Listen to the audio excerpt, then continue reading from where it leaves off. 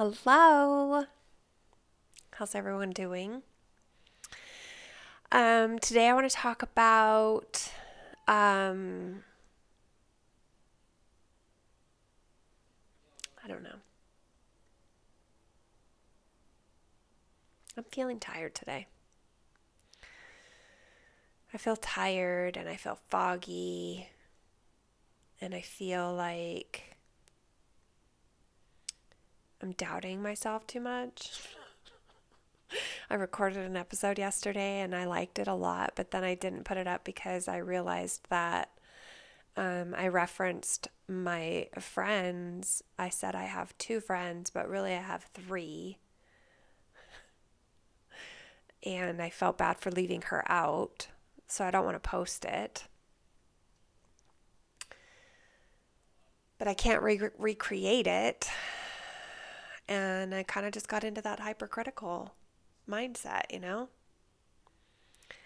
And now I feel just blocked completely.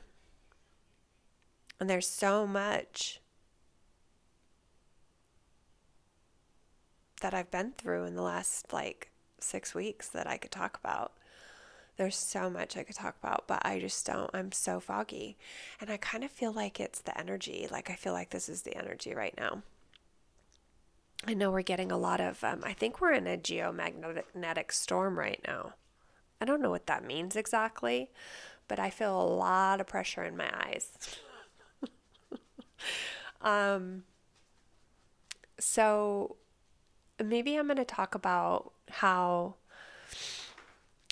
the inner critics kind of get in your way sometimes, like they block you. Um,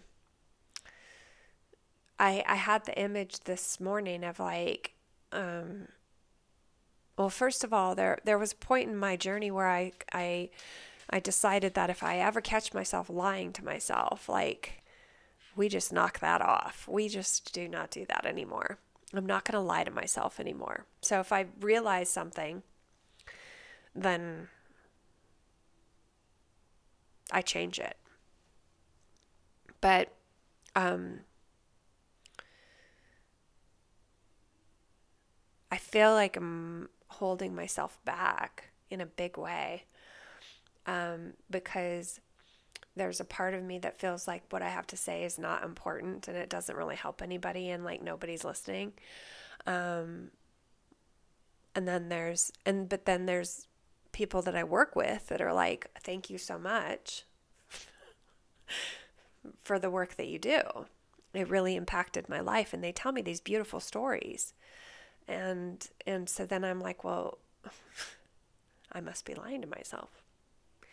But then I had this image this morning of like, you know, I've been kind of thinking like, what what what am I being called to do? I I'm really not sure. And I do feel like I'm being called to offer more pointed teachings like workshops. Um, and then also offering still offering one-on-one services um, for people. But like there's something about just recording content that feels like it's not enough in my in my mind. And even when i record content feeling like it's you know not um, good enough. And and i and i don't know if that's like a program of of like um, comparison, you know, where you compare yourself to other people. I don't know if that's what that is because because I know that there's a lot of teachers out there that I see um, that are um, seemingly successful. Um, but then I also recognize that a lot of them are manipulative and toxic and, and actually like harvesting energy from the people that they say that they're trying to help. Um, and so then my spirit is telling me like you know the whole point is you know the ego is like you have nothing to show for this. You have nothing to show for why anyone would want to take this path. You don't have you know millions of dollars. You don't have um you know I guess, the material things. The mind really wants material things. And, but, um, but my spirit is like, that's kind of the whole point. you're you're meant to be teaching people that it's not the material things that are going to change the way that you feel. And that it's possible to change the way you feel without those material things. Um, and then the ego is like, but is that enough? Like, do people want that? Because it seems like they don't. And the spirit's like, it doesn't matter. That's what you're supposed to be teaching. um, so this morning, I got the image. I don't know if anybody's a Seinfeld fan, but I got the image in my mind of George Costanza. I think he was at a nursing home or something, and the fire alarm got pulled, and he shoved an old woman out of the way. And my spirit was just like, You got to get out of your own way. Like, go get out of your own way. And so I guess that's what I'm talking about today is how to get out of your own way. Um, or something. but also, like, recently um, I moved. And, you know, I have the intention in my life that everything always works out for me. Um, and, and I want to add a little asterisk at the end of that. um, everything does always work out for me, but it doesn't always go the way that I want it to. Um, there but it always goes the way I need it to.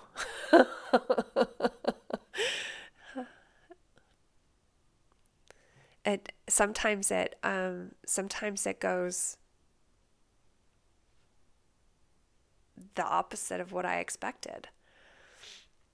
And and there's a lesson in that too, like releasing the attachment to the outcome.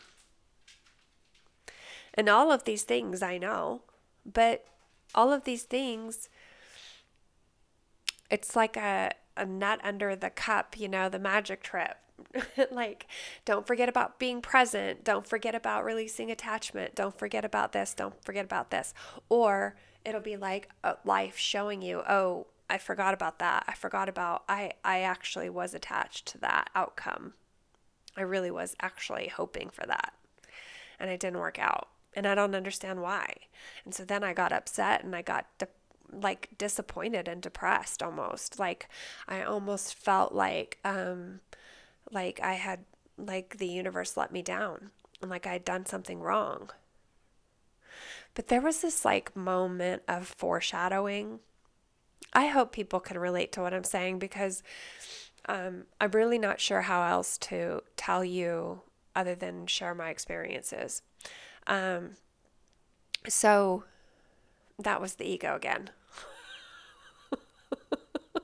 Criticizing and like questioning, what are you doing? This isn't, this is like so unusual for you to be just like rambling this way. Anyway, um, so I went to um, I went to LA in February. I got to speak at the Conscious Life Expo, and that was so cool.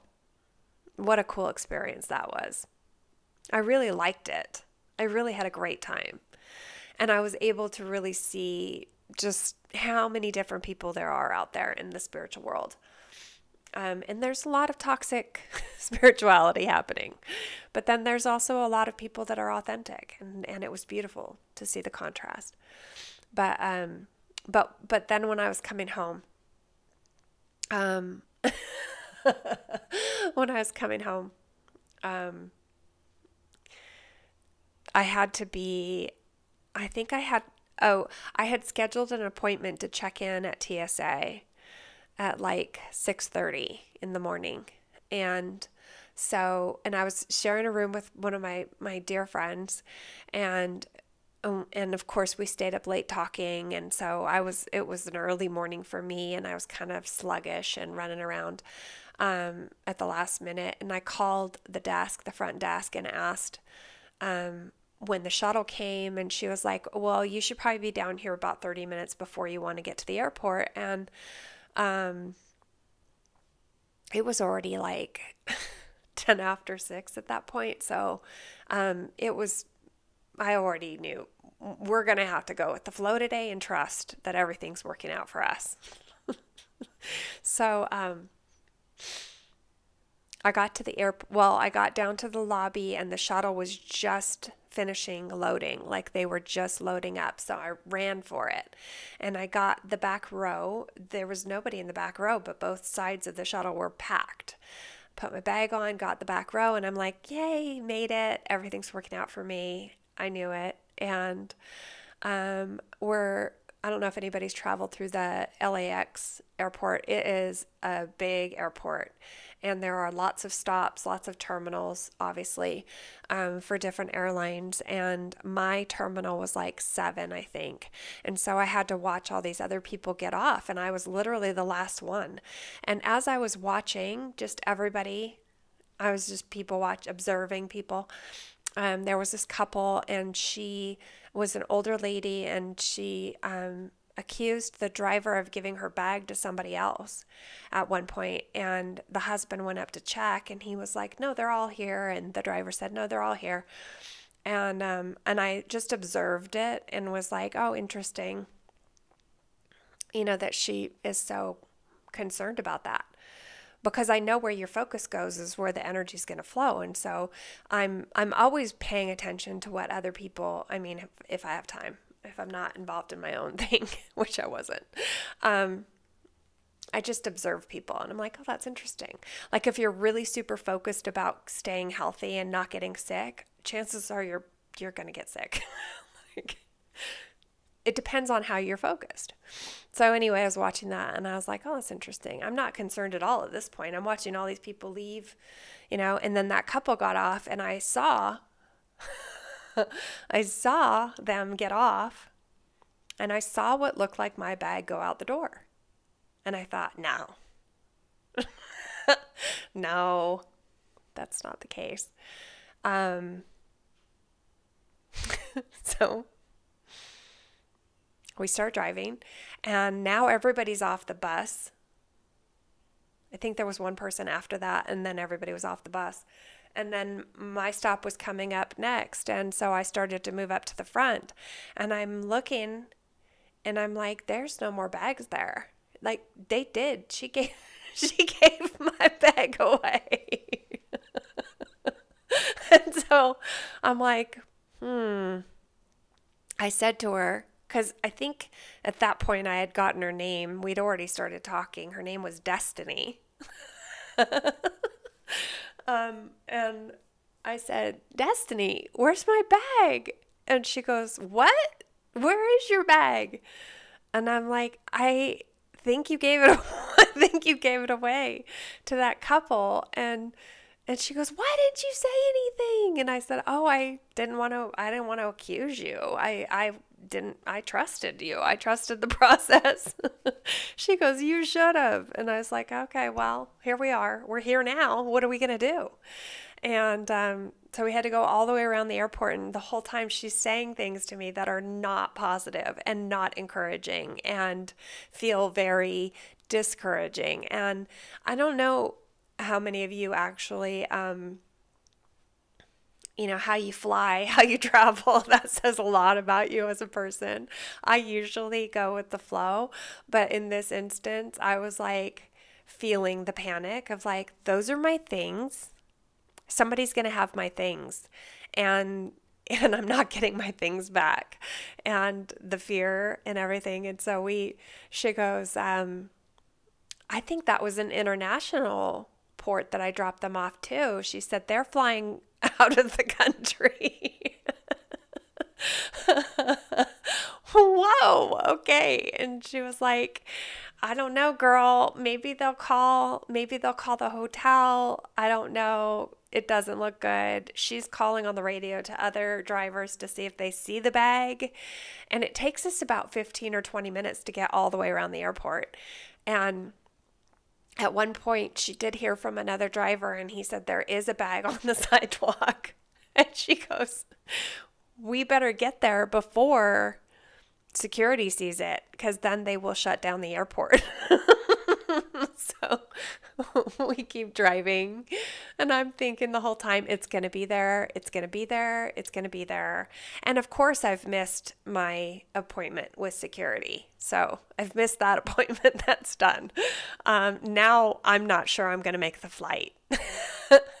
so I get off, I we get to the spot where they've they've spotted the bag and she stops in the middle of the road. She didn't even pull over to the curb because there was so much traffic and she goes, "Go girl, get it." so I got off and I ran out and I had to run around a bus and I got it. I found it. I grabbed it. Thank God. Got back on the on the tram. And throughout this time, she and I are talking and we're having a conversation about trusting in God, trusting that all's going to be fine. This is all in divine timing. This is divinely aligned. Like we are like really amping up the energy that everything is working out in our favor. Like this is happening for a reason. And then she starts to talk to me about how her her religious beliefs have started to change and she's looking I mean like we had this divine conversation during this process which was beautiful. And we became friends on Instagram. and um, anyway, so um, she takes me to my gate, lets me off, and says, This is how you get there. I'm like, Okay, cool. So I go to check my bag because I think at the last minute they allowed me to check my bag. Uh, I was going to carry it on.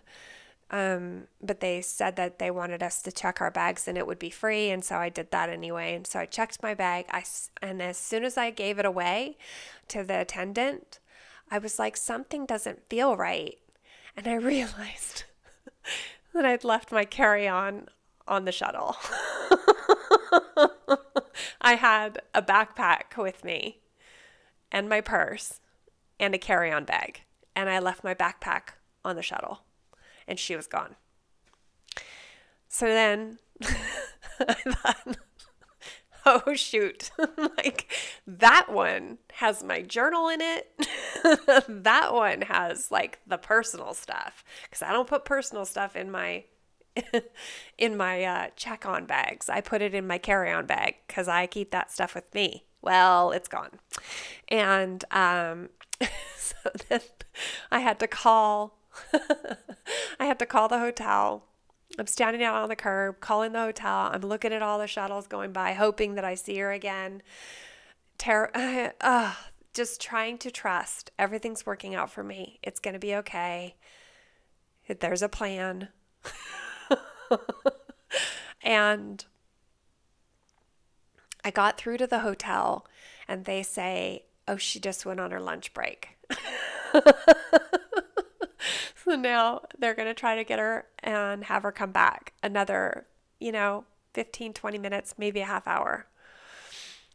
I eventually see her come around and she opens the door. And I was like, Destiny, God does not want us to end this conversation. She's like, You know, that's right. And I get in there, and of course, I find it. It's right there where I left it, right between the seat and the divider for the driver. And I'm like, good heavens. So I get the bag. Now it's a question of, am I going to make the flight? I still have to go through security. I get to security. I tell them that I had an appointment about 45 minutes ago. Maybe it was even longer than that. And I pull up the verification that I had an appointment and they let me through anyway. So the whole time I'm just trying to remain calm and I want I want to bring your attention to that like when things are seemingly out of your control, the only thing you can do is do the best that you can to remain calm because it's going to go the way it's going to go and you just got to kind of hang on sometimes. There's not panicking and being worried or thinking of the worst case scenarios, um, leaning into those is not going to do anything positive for the situation. All you can do is kind of just be like, "Well, I guess this is this is what I'm doing now." So I get to I I get through security. I'm running to the gate, and it's and they are final boarding, and it was prob so we get I got on the plane And then it got delayed. Got on the plane and it got delayed. So we sat there for an hour and um, they they'd made a couple of comments like the the flight attendant said something like well well first of all it was delayed an hour which means that the next flight because i had a connecting flight out of san francisco to get back home again and um, and that only had an hour layover so now i don't know if i'm going to make that flight so it was constantly just exchanging the present moment of panic for the next present moment of panic. And, and it was kind of just a cycle that I was chasing. And I've not even had any water or coffee at this point in my life this morning.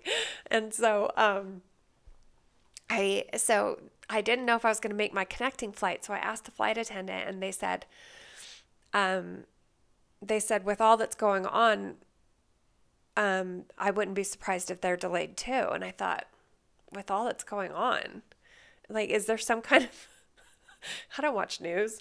Is there some kind of like national thing happening, um, emergency or something that I don't know of? And, um, and so I kind of let it go. And then we finally get taken off and, um, and, and then when we're about to get to San Francisco, I asked if there was any way they could I, I said, you know, I don't know if they're going to hold the connecting flight, but we're going to land after it is supposed to take off. And he said, well, with everything that's going on, I don't, I'm sure they're going to hold it for you, but we'll make an announcement and make sure everybody stays seated so that the people with connectings can take off.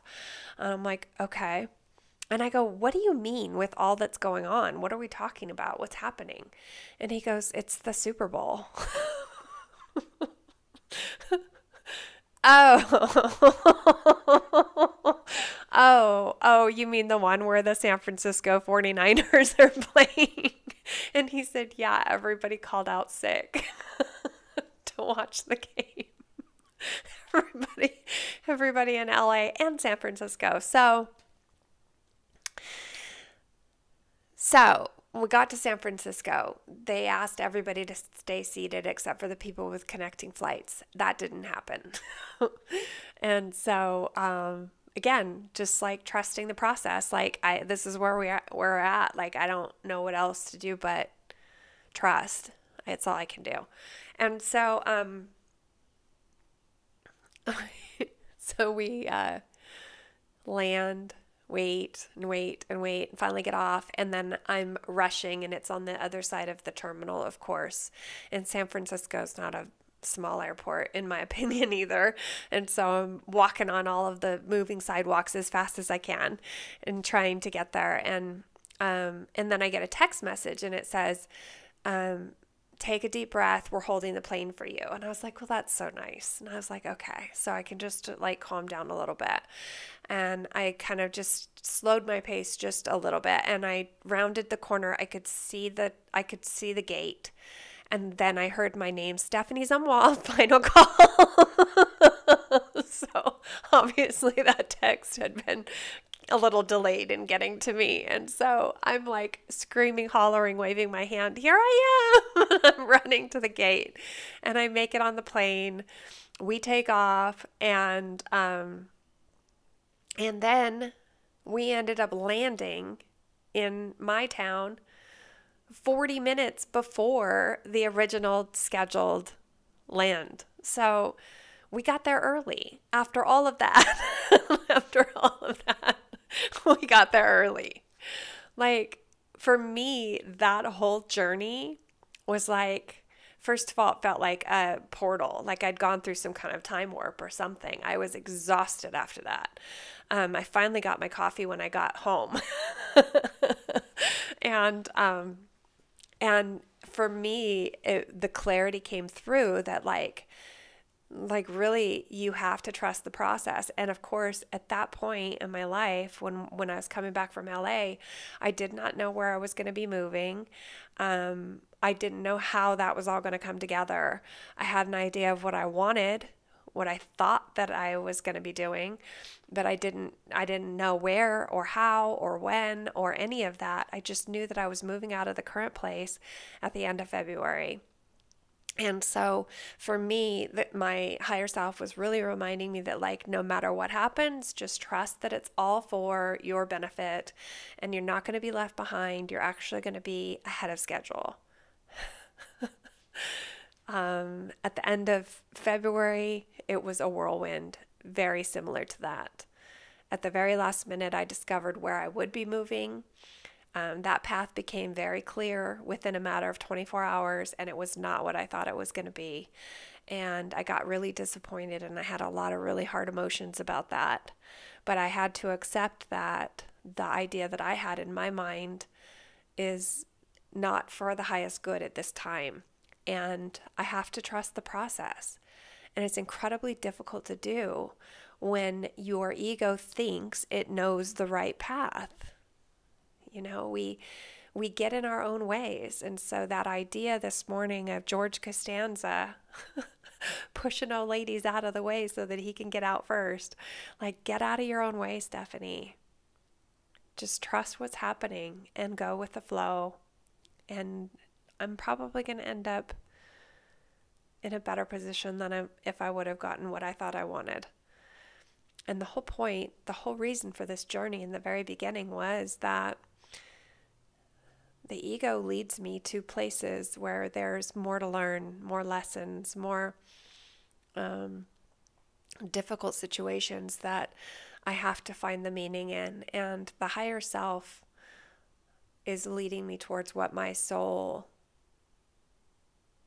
intended. Like it, it's leading me more towards um, what I deserve now that I have.